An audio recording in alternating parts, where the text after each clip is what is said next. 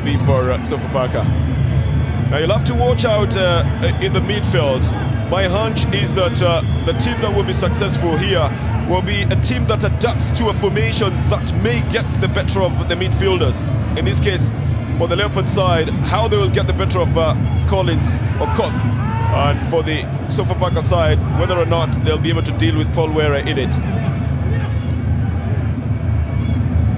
Uh, uh, one positions uh, as far as positions are concerned his team when you look at his bench he has uh, uh, some of the top players in the Kenya Premier League. He, he spent big really to acquire that and is expecting a rewards from the Sofapaka side.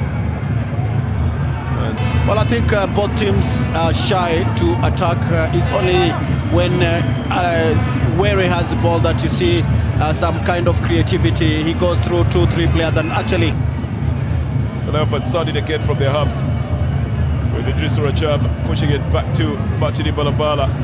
I think the analysts had it quite right that uh, it may pan out to be what Martini... I can assure you of Eugene Sika there. He knew that any blunder in that box would result into something totally different. Seven blue and white shots in the box And rising up for the header is uh, the last man, Jordan. And it's going to be a goal kick for the Sofapaka side. Back to their defenders. It's looking like Sofapaka has decided to reorganize themselves and are pushing forward now. Well, what would have looked like an easy way of dealing with the ball is lost and Sofapaka have lost it FC Leopards get the And I, I think we must be preparing for organizing themselves. Well, there it is. Oh, it's a new one. It's not the one. A huge FC Leopards uh, uh, this man is probably the most famous East African player, Jacob. Well, that is McDonald Mariga, who turns out for Inter, won the Scottish League with Celtic FC, and uh, the goings on uh, that he might be headed to.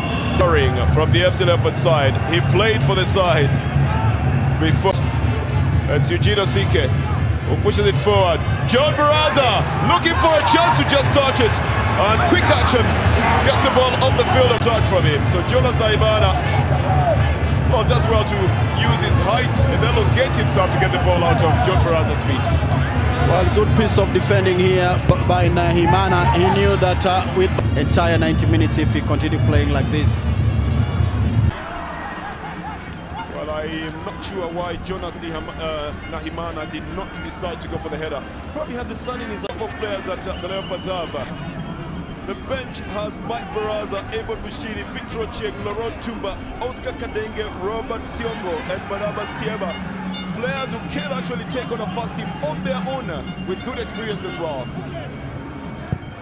Some would have suggested that he's good on aerial balls as well. Nil-nil in their first match of the Kenyan Premier League. Mathare look. This is Jonas Nahimana in the midfield. He should be playing as the last Uma. Let's practice a dance before uh, the game because they don't know when they're going to score. Going out on a left foot cross. It's very hard work coming from a youngster like that one. Jamal Mohammed. In a difficult perspective. But here's a good cutback by Benjamin Chaka. Goes out of the field of play for a throw-in. Very slowly here, but uh, losing possession immediately.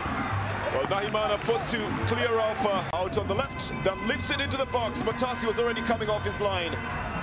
Story actually for the for the second half, most likely.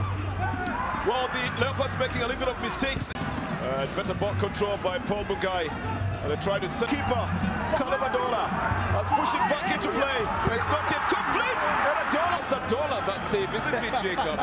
that would be like a hundred dollars. AFC Leopards the chance to go ahead in this one. The header was from the time. This was out on the left. And uh, Nahimana. The biggest win for the KCB side was a 4-0 win, Jacob.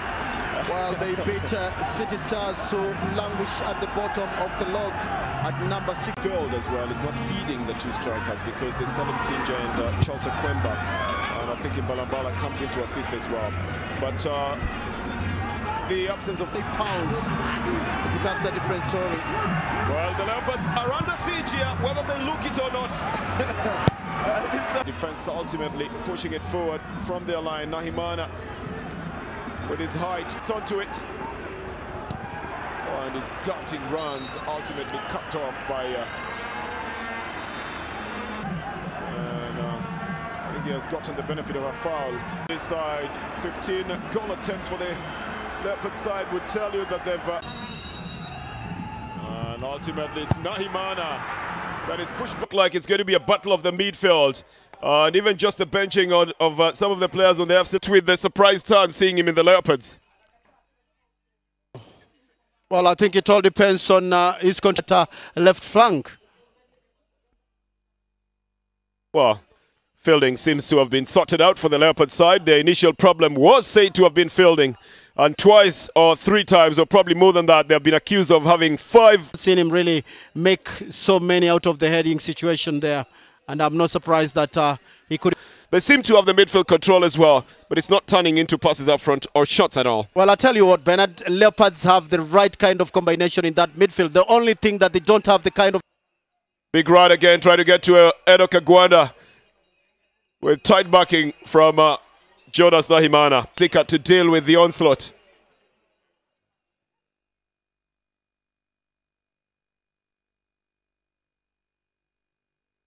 Well, Gwanda seemingly having had a knock, and uh, Nahimana seems to know exactly where it was, and uh, Lenz, uh, well, he would know because he was involved in that tackle that got him down, wasn't he? he took the tumble first, but obviously he won't be penalized for it. The free kick taken.